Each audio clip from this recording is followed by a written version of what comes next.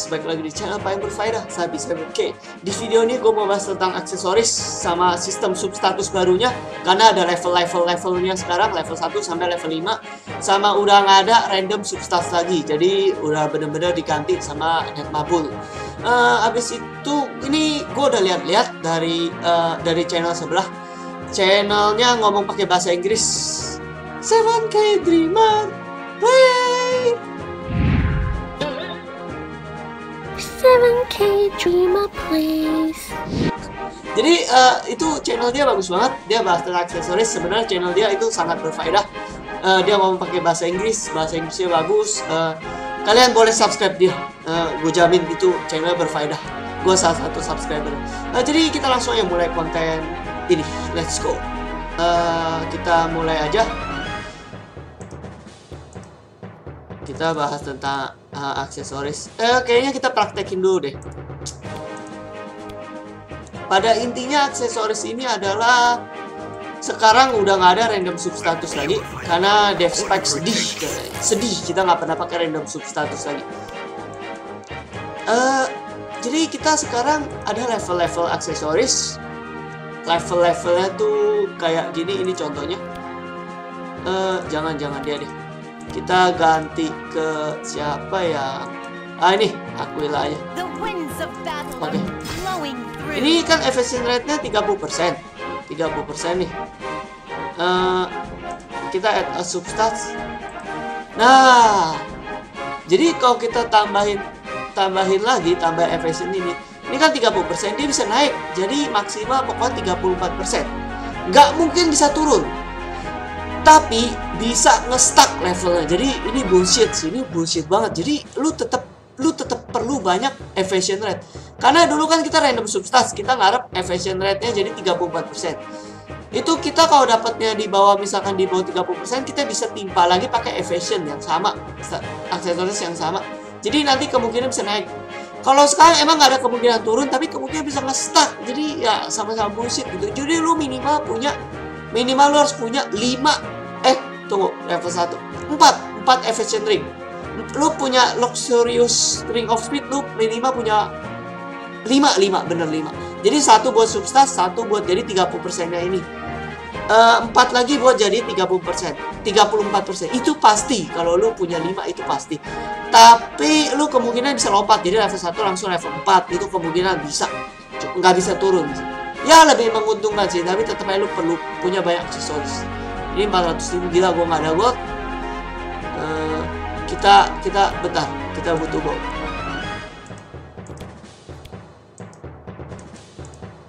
Oke, okay, uh, gua, gua udah lumayan nambah. Kita add up substats.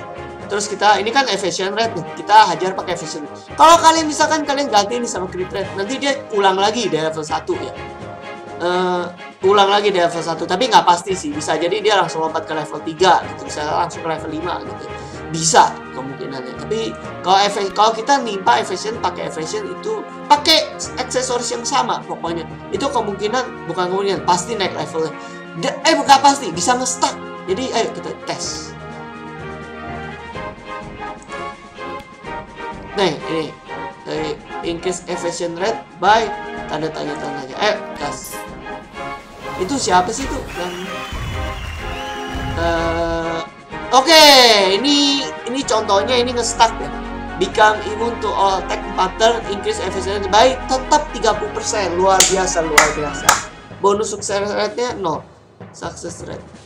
Oh jadi kita nih jadi kita kalau di kalau kita uh, substatusin sekali lagi kita dapat dikasih 50% chance lebih untuk substatusin lagi. Uh, untuk naik levelnya like levelnya ya ke level 2 gitu gue yakin. Bisa bisa kedua level sih. Uh, ayo kita kebetulan gue punya lagi nih satu lagi. Kita gas. Jadi jadi level 1 udah kelar nih kampret nih stuck. Uh, kita ke level 2 in. Oke okay, ayo kita gas. Oh ini gue hoki langsung level 5 next. Jadi ini langsung level 5 jadi bisa lompat bisa ngestak kalian bisa tetap stay di level 2 gitu jadi ini uh, gue tadi sih sebenarnya belum ngestak ya jadi gue substatus level 1 level 1 ya nggak naik gitu level ini contoh ngestaknya gue ambil dari 7K Dreamer Play. Ini contohnya. Okay, really great. Um, I'm gonna add a substat.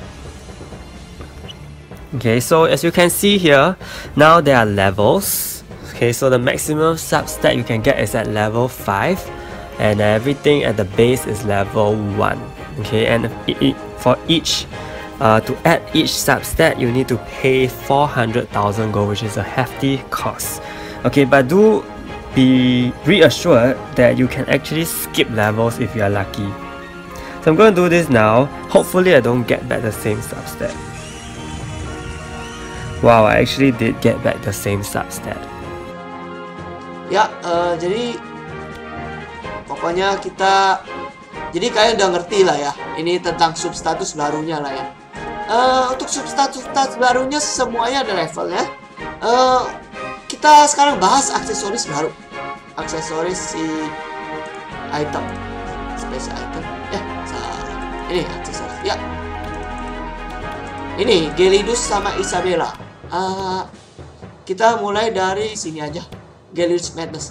Ini 30% chance to inflict 2000 fixed damage to the target when using a skill jadi misalkan Theo cincong cake sing sing sing kuak kuak kuak jadi dia ada tambahan satu damage lagi yaitu 2000 fixed damage uh, ini kan 30% chance. Ini juga lu bisa tambah, lu bisa substatusin. Mirip caranya kayak Evasion Ring tadi. Jadi uh, daftarnya daftarnya kalian bisa lihat di Mobirium atau kalian bisa lihat di sini. Lebih baik kalian ke sana aja sih. Terus kalian kalian pelajari lah, kalian hafalin. Uh, ini di, pokoknya gini. Menurut gua kita review sekalian semua aksesoris barunya. Menurut gua ini ya 30% chance to inflict 200 ini menurut gue sih kurang begitu bagus sih untuk sekarang ya nanti kemungkinan bisa bagus kemungkinan ini bisa bagus karena sekarang fix damage gak gitu kepake Gelidus Scrooge. 30% to decrease target HP by 1000 on basic attack. Ini menurut gue jelek. Uh, menurut gue ini nggak tau tembus HP-nya bisa tembus void atau enggak gue nggak tau kayaknya sih nggak bisa. Oh, OP banget. Kalau ini bisa tembus void shield atau atau pokoknya kayak si Theo kan ada shieldnya atau siapa ada shieldnya itu bisa tembus void. Itu gila sih. Tapi ini gua rasa enggak sih. Itu bakal overpower jadi ini aksesoris menurut gua jelek menurut gue ini jelek sih Gyarados Bridge ini sih. Untuk nanti-nanti juga menurut gue jelek tapi gue nggak berani ngomong secara pasti ya. Kemungkinan besar jelek untuk nanti-nanti. Oke skip ke aksesoris berikutnya. Gyarados Smite ini menurut gue gila banget karena 30% chance to decrease all buff duration by one turn in addition to the current buff duration decrease decrease effect when attacking. Jadi ini ini yang gue tangkep dari sini sih 30% chance to decrease all buff duration by satu turn in addition to the current buff duration decrease effect while attacking. Oke, ini gue nggak ngerti ya. Ini gue nggak ngerti. Decrease buff duration apa? Ini pokoknya kayaknya sih decrease buff duration. Ini bakal bagus banget buat Sylvester. Jadi ya berserk dia pas 7 turn itu nggak habis-habis. Apakah dia harus attack gitu baru buff dia anti buff duration ini gue nggak ngerti. Pokoknya intinya bagus untuk hero-hero yang willfulnya juga kemungkinan willfully juga kemungkinan gak habis-habis kalau pakai ini ya. Kemungkinan ya. Jadi ini gila banget sih. Buat buat hero-hero yang ngandelin turn kayak si Vesta itu contoh nyatanya yang ngandelin berserk itu gila banget. Berserknya 7 turn tambah ini jadi nggak habis-habis gitu. Ini sama bisa jadi level 5 juga nanti chance-nya jadi nambah. Kayak 100% chance kalau nggak salah ya. Uh, kalian lihat aja pokoknya di daftarnya Gelidus Loyalty ini damage receive ini juga ini bagus banget. Ini gue yakin bagus banget. Ini buat kayak hero-hero kayak Ace gitu atau kayak Jeff. Jeff pakai ini bakal jadi tebel banget loh. Ini gila sih ini gila. Kayak Ace Ace juga bagus banget. Ace bakal jadi tebel dan bisa survive di arena. Ini gila ini aksesoris Gelidus Royalty menurut gue bagus banget. Uh, kita next ke hero eh ke hero ke aksesoris selanjutnya. Gelidus Tenacity decrease the fixed damage received by 20%. Menurut gue ini nggak gitu bagus untuk meta sekarang ya. Jadi ya lebih baik kita skip dulu ini Gyarados Tenacity. Ini untuk metasnya decrease the fixed damage received buat apa lagi fixed damage gitu ya. Damage biasa lebih sakit daripada fixed damage untuk zaman sekarang. tapi bakal bagus mungkin ya untuk tim tanker nanti di meta masa depan itu gua nggak tahu untuk sekarang sih jelek ya, ini aksesoris skip Gyarados Velocity become agile for 2 turns kalau dia udah level 5 alias kalian minimal punya 4 4 eh 5 satu buat substat 4 lagi buat naikin levelnya. 5 Gyarados Velocity dia bakal jadi 7 turn. Jadi ini menurut gue ini bagus banget. Ini menurut gue bagus banget. Lu perlu decrease dia tiga kali. Karena sekarang meta sekarang kan buff duration 3 3 turn 3 turn 3 turn. Gyarados Velocity ini jadi 7 turn jadi lu bisa buff duration dia tiga kali baru egilnya hilang. Egil itu jadi seberapa mau damage yang masuk 10 kali walaupun nggak ada sih. Hitnya 4 kali tertinggi untuk sekarang. Tapi kalau ada hit yang 10 kali tetap yang hit yang masuk damage-nya cuma satu. Cuma satu hit gitu. Jadi egil ini bagus banget. Jadi Gyarados ini gua recap sekali lagi. Uh, Gyarados Magnus uh, untuk sekarang kurang bagus. Groot juga kurang bagus untuk sekarang ya. Mike ini bagus buat Sylvester terutama. Ini kemungkinan besar bagus. Ini bagus banget. Gue yakin ini bagus banget. Loyalty ini sih. Karena ya bakal bikin hero yang gak tebel jadi tebel gitu. Kayak S ya. loyalty bagus banget. Ini kurang. Untuk sekarang kurang sih. Ini juga bagus banget. Jadi velocity. Apalagi udah level tinggi. Tapi dia harus level level 5 sih. Kalau enggak nggak gitu op optimal ya karena dia 7 turn kalau level 5 jadi gua sekali lagi yang bagus ada ini Introduce Mic ini Loyalty sama Velocity. Oke kita lanjut ke Isabella. Isabella Curse 30% chance to block the target awakening god from being able to be charged for 2 turns on basic attack. Uh, ini 30% to block target awakening god from being able to be charged Oh jadi kalau kalau Isabella Curse kalau kita counter dia atau pokoknya basic attack lah counter speed attack. Jadi awakening goknya bakal kunci 30% chance nanti kalau level 5 nya ya jadi 100% kalau nggak salah. Ini bagus ya untuk build rate ini bagus Isabella Curse ini bagus untuk build rate. Atau nggak tahu ya untuk arena mungkin juga bagus kali buat ngelock awakening dognya ini kasih hero yang sering-sering counter jadi kelok gitu. Dia jadi dia nggak bisa nggak bisa keluarin awakening dog gitu. nggak bisa keluarin awakening skill karena udah dikunci sama ini. Bagus sih ini buat arena juga bagus gua rasa sih. Isabella Curse Isabella Eye 30% chance to exit target percentage of max HP damage receive 15% with each hit. Oke ini gua rasa counternya counternya Gyarados Velocity eh Gyarados apa ya? Tadi ini Gyarados Loyalty. Jadi ini bakal kayak semacam poison gitu ya. 30% chance to exit target percentage of max HP jadi dia bakal kan damage yang masuk kan paling 20% ya tadi. 20% max HP exit dah misalnya kayak Chris kayak pasifnya Chris. Bakal ditambahin 15% aja jadi 35% yang masuk gitu. Kalau kalian pasang Isabel Evil Eye jadi ini ya ini bagus sih bagus. Untuk counter hero-hero yang ada 20% max HP exit jadi 35% uh, dan ini juga ini gua rasa ke skill ngaruh sih. Skill ke skill ngaruh ya ini Evil Eye ini.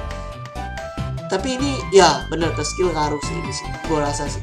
Kalau nggak sampah ya kalau cuma basic attack sampah ini ya, ini aksesoris bagus Isabella Illusion 30% chance to attack 2 times on basic attack kalau udah level 5 nya 100% ini menurut gua biasa aja. Nggak bagus juga nggak jelek. Ini ini kalau kalian mau tahu ini udah ada udah ada jewelnya ya. Udah ada jewelnya tapi jewelnya itu ya cuma 30% chance ini kalau level 7 ya eh level 5 bisa 100% kalau nggak salah. Tuh, ya kalian lihat sendiri lah di daftar di sini lah. Karena gue ngomong gini, gue nggak lihat daftarnya. Uh, ya pokoknya begitulah. Ini biasa aja. Kemungkinan bagus, kemungkinan besar bagus sih. Bakal bagus sih. Isabella Crimson Blood decrease piercing damage receive. Oke untuk sekarang kurang begitu bagus sih.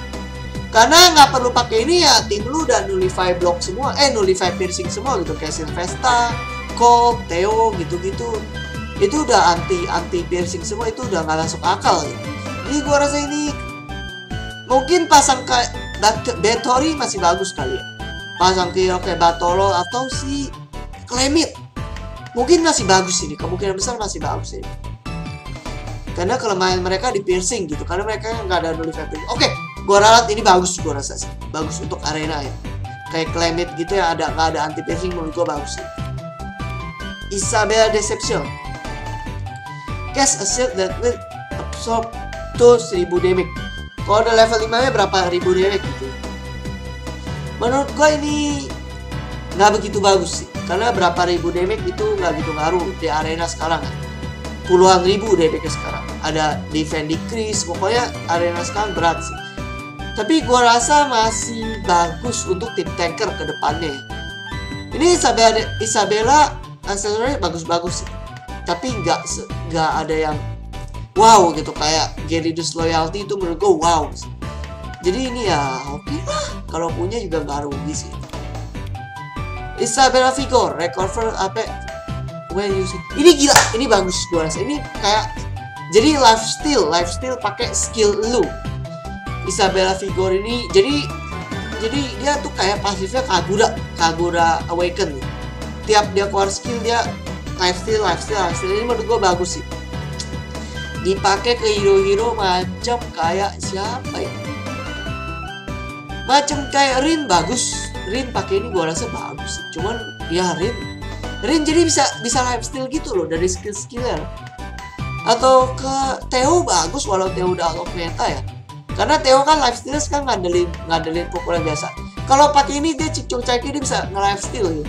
Kalau Theo lawan Theo kalau Theo lu pakai ini Theo lu udah unggul gitu. Karena Theo lu bisa lifestyle pakai ini. Tapi walaupun Theo udah out of sekarang sih. Ini Isabella figur bagus. Wow ini salah satu aksesoris yang wow menurut gue ya. jadi ya kita recap lagi. Isabella Curse menurut gue bagus. Ini juga bisa ngeblok Awakening Dog tapi cuma basic attack. Jadi lu harus kasih ke hero yang sering counter. Ini menurut gue bagus Isabella Curse. Evil Eye biasa aja bagus sih. Ini anti anti max HP tapi nggak bisa tembusin juga gitu max HP exit jadi tapi lumayan. Kalau HP exit itu lima kali lu pukul baru dia mati. Kalau ini tiga kali doang cukup gitu. empat kali empat kali juga udah cukup gitu. Karena 35% jadi 35% dari max HP-nya gitu. jadi ini biasa aja. Ini juga biasa aja. Nggak jelek nggak bagus biasa aja. Untuk kasih ke Theo gitu hero yang butuh basic attack yang sering counter bagus sih tapi biasa aja. Lah ini bagus untuk kayak Climate gitu untuk yang butuh survive banyak di arena bagus. Batory juga bagus Crimson Blood.